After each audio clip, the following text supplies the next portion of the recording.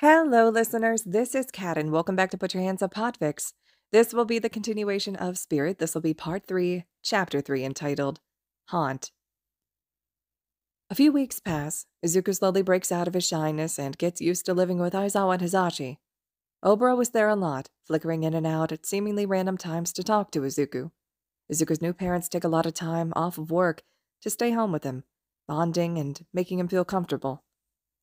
Izuku is a quiet kid, mostly lost in his own head. When Hizashi and Aizawa take him places, he just clings to one of their hands and tries not to get overwhelmed by ghosts all around them. Izuku learns quickly that it's impossible to tell at a glance if he's looking at a ghost or an alive person, so seeing and meeting new people is hard for him. He even discovers that he can see the ghosts of animals, eyes widening when his parents ask him one day what he's holding. He looks down at the cat in his lap, realizing instantly that the cat isn't alive, it's a lot to take in. He doesn't talk to any human ghosts on purpose except Oboro, feeling a little scared of his new quirk. Oboro is gentle and kind, but some of the ghosts Izuku sees are scary and angry, and he's too scared to talk to them. So, he spends most of his time inside, talking to his parents, Oboro, or curled up, reading a book or writing in his notebook. Izuku draws Oboro a lot, feeling a sense of responsibility to help him feel connected to something since Izuku figures the teenager's probably bored of just talking to Izuku all the time. One sunny afternoon, Izuku changes into a pair of shorts and a t shirt, grabbing Aizawa's hand as the three of them head out to a nearby park. Oboro shows up, walking next to Izuku with his hands in his pockets, keeping his kind eyes on Izuku as they walk. Izu, this park is really fun, Hizashi exclaims with a smile, swinging Izuku's hand. It's got a big slide, a swing set, and a jungle gym. You'll have a blast, kid. Izuku just nods. Okay, Dad. He misses the look on Hizashi's face at Izuku calling him Dad, but Izuku doesn't think much of it. Aizawa and Hizashi are his dads. He doesn't think he could ever call someone else mom, only Inko Midoriya, but having dads is nice. He's been dropping Dad more and more often into the conversations, glad that his new parents seem to like it. Look, we're almost here, Aizawa murmurs, pointing at the park. And look, it's not crowded today either. That'll be nice. Izuku looks ahead, and his stomach sinks. He still has trouble telling dead people from alive people, but in this case, it's pretty easy to tell the crowd in front of him are dead. Aizawa said it wasn't crowded, but it's the exact opposite to Izuku. There's a large group of ghosts congregating in the center of the park, all of them in old, funny looking clothes, standing in confusion. Most of them are silent, but Izuku can hear some of them wailing. Oh, Oboro, what's going on? Izuku asks, a little scared. Hizashi and Aizawa don't interrupt, starting to get used to their son talking to their dead friend, as weird of a situation as the apparent one sided conversations are. Oboro looks grim. Not sure. I think there was an accident here a long time ago, though. They seem stuck, like they don't know they're dead. I can go talk to them, but I think you should stay out of this, kiddo. In my experience, they're probably going to get mad. Get mad? Izuku asks, eyes wide with fear as he clings tightly to Hizashi's hand. At me? Who's mad at you, kid? Aizawa asks gruffly. It better not be you, Oboro. Oboro snorts. Please. Izuku, tell your dad he's being an idiot. I'm going to handle this. Izuku dutifully repeats this to Aizawa, who looks like he might have an aneurysm. Before Izuku can explain further, Oboro heads off to the crowd of ghosts. Izuku doesn't move to play on the playground, his eyes locked on the ghosts. Sure enough, just like Oboro said, soon the crowd of ghosts start yelling and wailing. Izuku gasps, the noise rising and rising until he can't take it anymore. The ghosts begin surging past him in a blur, the cacophonous noise too much to bear. Izuku kneels down, hands clamped over his ears as the voices blur in his head, overwhelmed by the spirits around him. After a few long, terrible minutes, the noise subsides, and Izuku looks up, tear tracks on his face, as his worried dads kneel in front of him, asking him what's wrong. Oboro is gone too, and Izuku's face scrunches up as he starts to cry. Too many, Izuku chokes out as Aizawa picks him up, soothing him as best he can. Too many ghosts. It's so loud. Aizawa continues to soothe him as they turn around and head back home, Izuku crying the whole way. When they walk inside, Aizawa kicks off his shoes and immediately heads for the couch, Izuku burying his face against him. Hizashi walks over, gently taking off Izuku's own shoes before putting them down and sitting next to them on the couch. Daddy, I'm scared, Izuku manages to mumble as they both soothe him. Izuku feels a little better being home, but Oboro was still gone, and the ghost had really frightened him. You're all right now, Hizashi says gently, leaning over to kiss Izuku's forehead. Sho, I think it's time for a quirk counseling appointment. We've waited long enough. Aizawa looks grim, sharing a look with Hizashi that Izuku doesn't understand. He just lets himself be comforted, sniffling on his dad's chest. He doesn't see Oboro for a while. Two days later, Izuku and his parents are walking through the doors of the Musutafu Children's Quirk Center for his first quirk counseling session. His parents have been oddly tense all morning, and Izuku's not really sure why. He is too, but it's mainly because he hasn't seen Oboro since the park and he's worried about his friend. After checking in at the front desk of the Quirk Center, the receptionist points them toward the staircase to the right, where the Paranormal Quirk Department is located. Apparently, the department is in the basement of the building, which sounds a little scary to Izuku.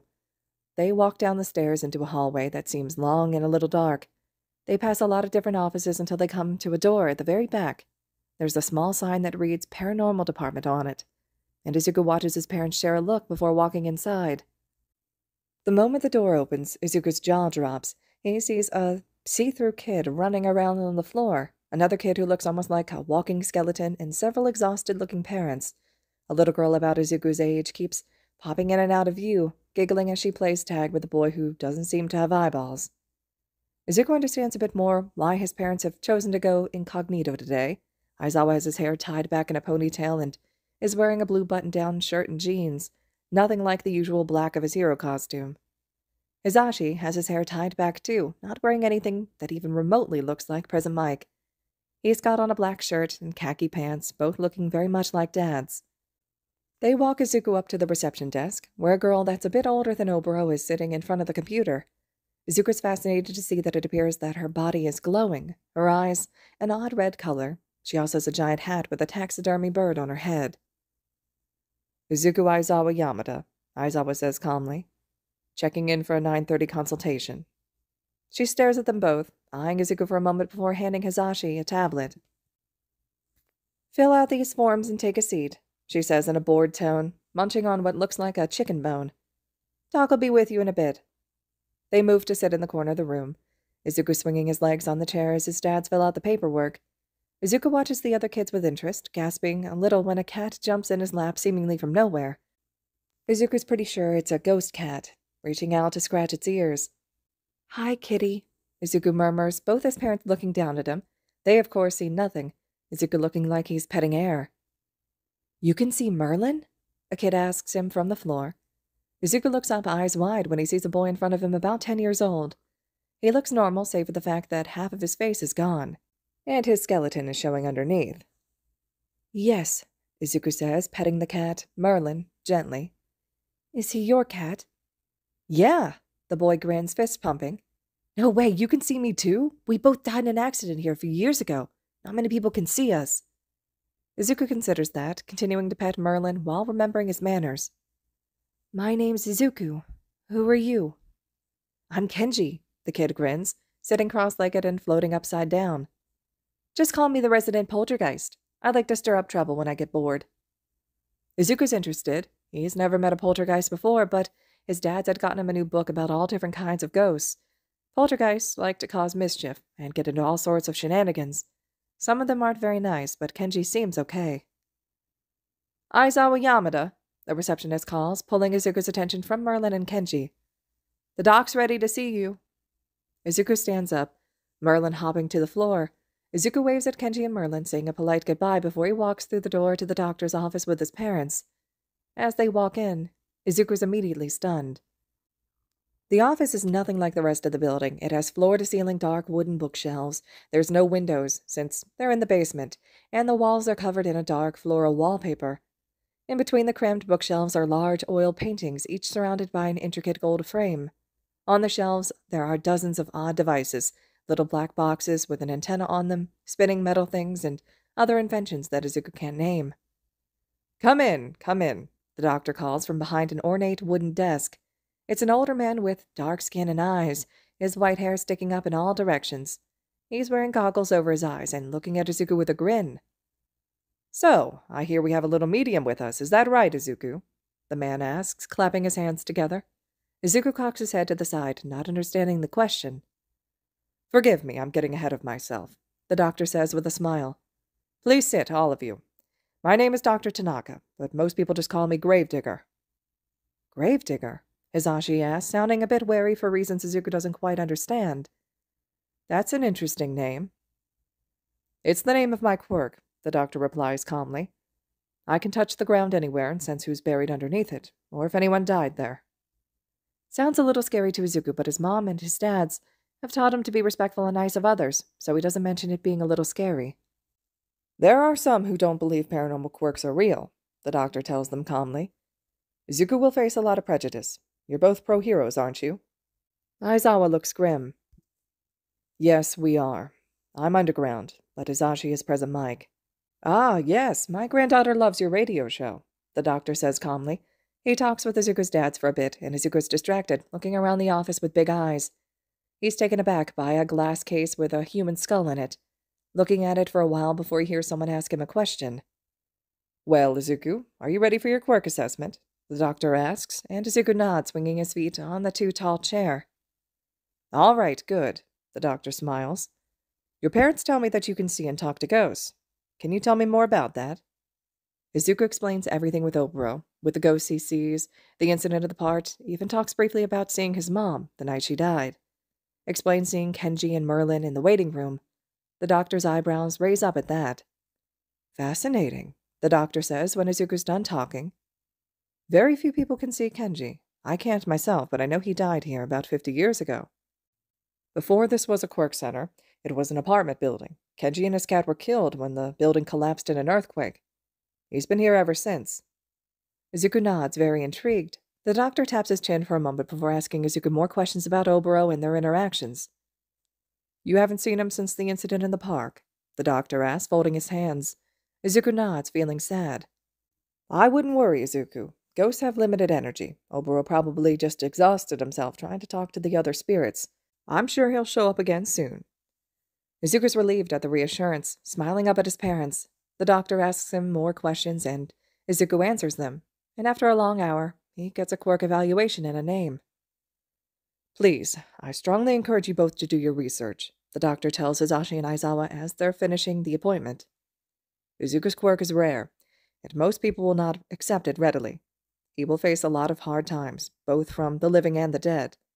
I'm happy to work with him any time, and would be honored to continue to give him counseling sessions. Thank you, Hizashi says earnestly, taking the papers from the doctor that list Izuku's quirk.